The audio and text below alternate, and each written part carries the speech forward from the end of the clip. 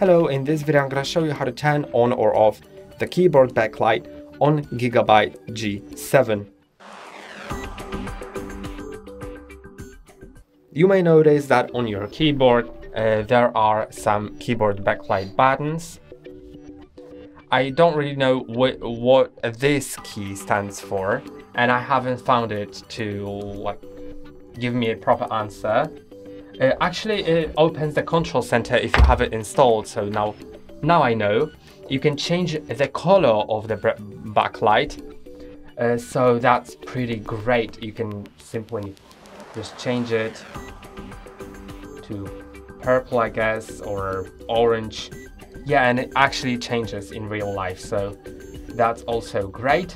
Um, you can also change the keyboard sleep timer, enable or disable it here or enable or disable it using the keyboard with uh, FN. You need to press on all of these keys combined with FN key. This disables or enables the keyboard backlight.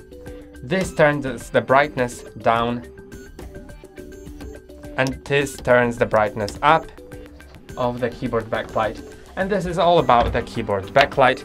So if you have the Gigabyte con uh, control center, which if you don't know how to install, you can find it in a video on updating and installing drivers on this laptop.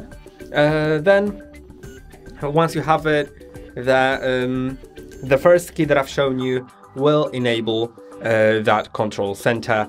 And that's all for today. Don't forget to like and subscribe. See you next time.